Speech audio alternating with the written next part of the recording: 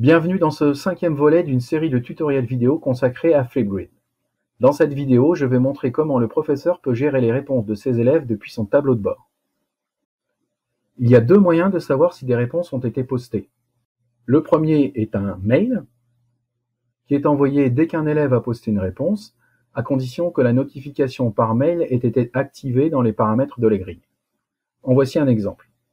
On nous annonce une nouvelle réponse dans notre grille, il y a un rappel signifiant que le sujet de discussion est modéré et qu'il faudra donc activer la réponse pour que cette dernière soit visible. Puis vient le selfie de l'élève avec ses stickers et ses annotations éventuelles, la date et l'heure du post, la grille concernée et le sujet de discussion. Pour consulter la réponse, il faudra se rendre dans l'interface d'administration de Flipgrid, car ici c'est seulement une notification. Le deuxième moyen est de se rendre dans l'interface d'administration de Flipgrid, puis sur l'onglet Dashboard, où l'on accède tout d'abord aux statistiques d'utilisation de l'application. On y voit le nombre de grilles créées, le nombre de sujets de discussion créés, le nombre de vidéos créées, les vidéos qui ont été créées cette semaine et les vues au total. Enfin, il y a une grille d'activité qui vous indique les pics d'activité de votre grille. Comme j'ai paramétré une modération sur les vidéos produites par les élèves, je souhaiterais voir les vidéos récentes qui n'ont pas été visionnées. Pour cela, je me rends sur l'onglet Recent In-View Videos et j'accède aux vidéos voulues. Ici, on n'en voit pas car euh, je les ai déjà visionnées avant de faire cette capture. Mais je vais pouvoir les retrouver directement en cliquant sur l'onglet My Grids. Je me rends sur la page de gestion de ma grille et puis sur celle du sujet de discussion qui contient la vidéo que je dois regarder. On voit que la vidéo ici a un statut hidden, caché, et je pourrais la basculer vers le statut visible après l'avoir contrôlée. Pour la lire, il suffit alors de cliquer sur le nom de l'élève. Bonjour. Dans cette euh, vidéo sont présentés quatre types de transformations. Différents onglets sont disponibles, l'onglet Details, l'onglet Feedback, Reprise et Share. Dans l'onglet Details, on retrouve le statut visible ou caché. Il est possible de mener des actions sur cette euh, vidéo, soit en éditant, soit en la sparkant, je l'expliquerai tout à l'heure ce que ça signifie, soit en la supprimant. Il y a également un lien vers la vidéo directe telle qu'elle sera vue par les élèves. L'onglet Feedback permet au professeur une rétroaction sur le travail de l'élève. Il y a possibilité d'évaluer euh, deux critères euh, dans la version de base, un critère de performance globale et un critère sur le développement des idées. Le critère sur la performance globale, comme euh, le deuxième d'ailleurs, sont sur une échelle de 1 à 5. Il suffit ensuite de choisir les chiffres que l'on souhaite. Et puis enfin, la possibilité de mettre un commentaire ici qui signale à l'élève qu'il a oublié d'expliquer euh, en quoi consiste chaque transformation et on l'invite donc à reposter notre vidéo pour euh, le corriger. Il est possible de taper 1024 caractères, ce qui laisse quand même une grande liberté au professeur. Enfin, ce feedback peut être envoyé également par mail, condition évidemment que l'élève ait renseigné son adresse mail de l'ENT par exemple dans le poste de sa vidéo.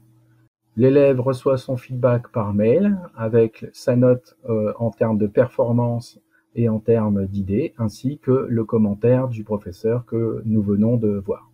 L'onglet Reprise ne sera pas développé ici puisque ça ne concerne que la version euh, payante de Fluidwin, où les élèves ont la possibilité d'interagir entre eux en se répondant mutuellement sur leurs contributions. Quant au dernier onglet, l'onglet Share, il est similaire à ce qu'on connaît déjà dans les paramètres euh, de partage de la grille ou des sujets de discussion, mais ici, les liens de partage générés pointeront directement vers la vidéo elle-même.